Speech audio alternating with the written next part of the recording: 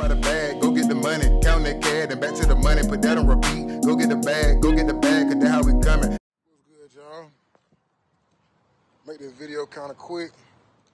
I'm doing this for a couple reasons. Number one reason is I want to show y'all how you can make money flipping cars. The number two reason I'm doing this video is because when I'm flipping cars and I see a lot of the comments with people hating and telling me I should charge a lower price, the stuff always gets sold, but I always see people hating. So I want to show y'all the newest one that I'm working on that people have already started to hate on.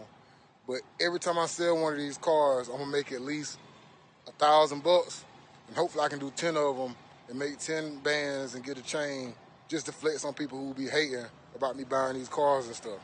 So this is the one that I'm currently working on. It's a 1989 Box Chevy Brougham. Brougham because it got the vinyl top. As you can see, the top does need to be replaced. Uh, the car needs a paint job, but the body's good. It has the Euro lights on it. All the decals and stuff are still on there. Uh, door handles, all that stuff still on here. The mirrors and stuff still here. Um, the keys to unlock it. Uh, we do have the remote unlock. So power unlock, power windows, all that good stuff in here. Interior is okay.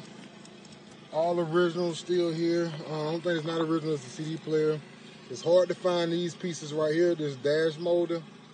It's hard to find all of this stuff. Those um, door pieces, this paneling, those um, switches right there. It's hard to find all these parts.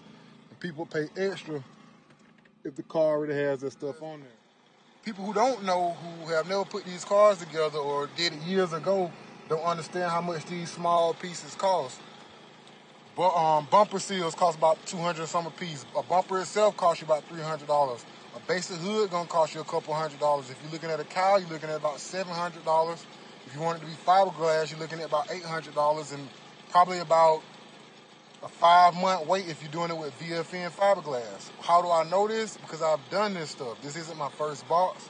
This is um this is the second box I've I've been working on. Um what else? What else makes this car expensive? Turn the key. The motor. the motor definitely turned here's a, it's a 350, so you gotta pay for that.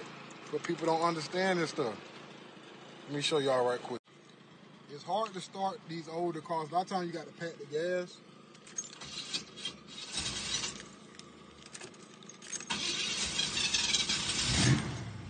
But if you notice, I really don't even have to pack the gas in. I hit it one time. I could have cranked it up the first time without, if I would have touched the gas, but I wanted to see if I can do it without it. A car that crank like this is, is, is darn near perfect, whether people understand that or not.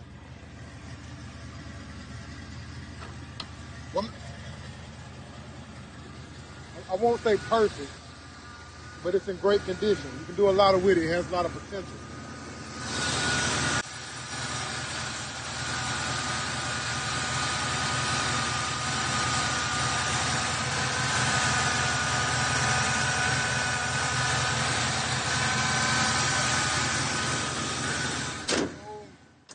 As y'all can see, all in all, the car has a lot of potential. There's a lot that you can do with it.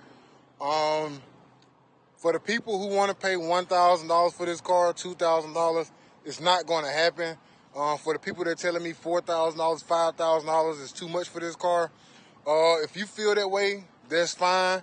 But you can find a body for $1,500. You can find a motor for $500. You can find a mechanic and pay them $1,000 to put it in. You can wait a month and do all that stuff.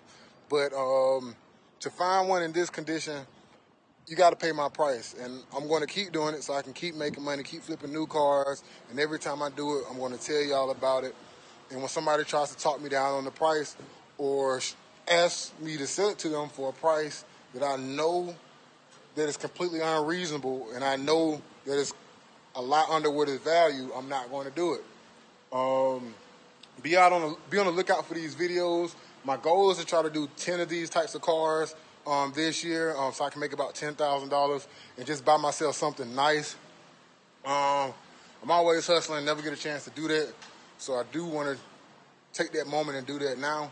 I'm about to go ahead and head back into my shop, and I'll catch y'all in the next video. How about a bag? Go get the money, count that cash, and back to the money, put that on repeat. Go get the bag, go get the bag, cause that's how we coming.